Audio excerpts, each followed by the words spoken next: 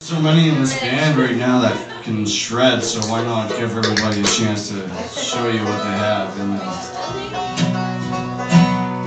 so yeah, we're gonna do that. And I'll send this out to everybody in the room like I always do.